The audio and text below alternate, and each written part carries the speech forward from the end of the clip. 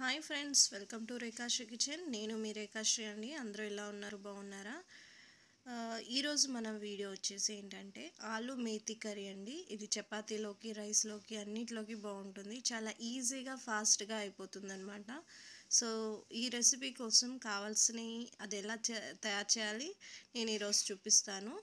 So దీనికి కావాల్సింది ముందుగా మనము మేతి కర్రీ అదే మెంతం కూర ఉంటుంది కదా అది తీసుకోవాలి. మేతి లీవ్స్. అవి తీసుకొని వాష్ చేసి అది నేను క్లీన్ చేసి పక్కన పెట్టుకున్నాను. సో దీనికి కావాల్సిన పొటాటోస్ టమాటోస్ టూ ఆనియన్స్ ఇవన్నీ మనం చిన్న చిన్న పీసెస్గా కట్ చేసుకోవాలి. ఈ గ్రీన్ లీవ్స్ కూడా కట్ చేయాలి. సో బంగాళదుంపలు చిన్నగా కట్ చేశాను. ఆనియన్స్ మేతి కర్రీ అండి ఇది. అదే మెంతం కూర అది కూడా కట్ చేసి పెట్టుకున్నాను. అలాగే టమాటోస్. సో ఇప్పుడు ప్రాసెస్లోకి వెళ్ళిపోదాము. కడాయి పెట్టేసుకొని ఆయిల్ వేసుకోవాలి తగినంత. తగినంత ఆయిల్ వేసుకున్న తర్వాత ఆనియన్స్ వేసుకోవాలండి. ఆనియన్స్ కరివేపాకు వేసుకొని వేయించుకోవాలి. ఇది కొంచెం కలర్ వచ్చేంత వరకు వేయించుకోవాలన్నమాట. సో కర్రీ మాత్రం చాలా ఫాస్ట్గా అయిపోతుందండి ఈజీగా ఉంటుంది. సో కంపల్సరీ మీరు కూడా ట్రై చేయండి. సో ఇలా మొత్తం కొంచెం కలర్ వచ్చేంతవరకు వేయించుకున్నాక దీంట్లోనే పసుపు వేసుకోవాలి తగినంత. అలాగే అల్లం వెల్లుల్లి పేస్ట్ అది కూడా తగినంత వేసుకోవాలి కొద్దిగా. ఇప్పుడు తగినంత సాల్ట్ ఇవన్నీ వేసుకొని మళ్ళీ ఒకసారి కలిపేసుకోవాలి. ఇలా కలిపేసుకున్న తర్వాత దీంట్లోనే మనం కట్ చేసుకున్న పొటాటోస్ ఆలూస్ ఉన్నాయి కదా అవి కూడా నేనైతే చిన్న పీసెస్గానే కట్ చేశాను. త్వరగా అయిపోతుంది అనేసి త్వరగా ఉడుకుతుందని చెప్పి.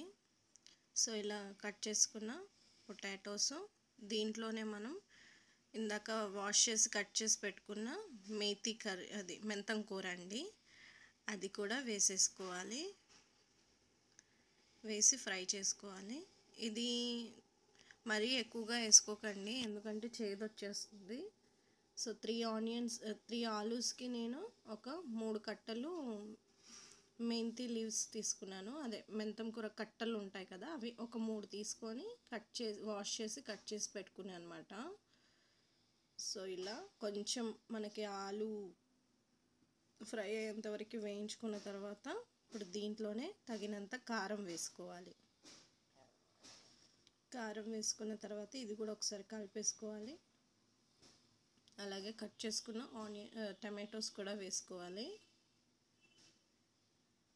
వేసి ఈ టమాటా కొంచెం ఉడికేంత వరకు మూత పెట్టి ఉడికించుకోవాలన్నమాట. ఒక ఐదు పది నిమిషాల వరకు.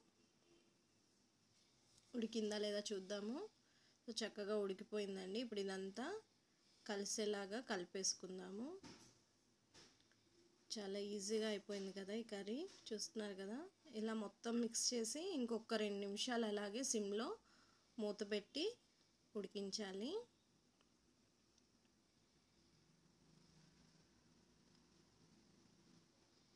ఇప్పుడు ఉడికిపోయింది కదా.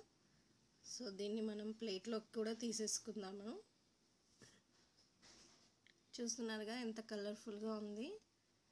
సో ఇది కంపల్సరీ మీరు కూడా ట్రై చేయండి. మీకు ఎలా వచ్చిందో కూడా నాకు కామెంట్స్లో పెట్టండి. సో అది ఫ్రెండ్స్ ఇది రైస్లోకి చపాతీలోకి బాగుంటుంది. ఫ్రెండ్స్ నా వీడియో కనుక నచ్చితే లైక్ చేయండి షేర్ చేయండి సబ్స్క్రైబ్ చేసి చేయండి. ప్లీజ్ ఫ్రెండ్స్ ఒక లైక్ కొట్టడంలో తప్పేమీ లేదు. లైక్ కొట్టేసేయండి. ఓకేనా? మరో కొత్త రెసిపీతో మళ్ళీ మీ ముందుకు వస్తాను. బాయ్!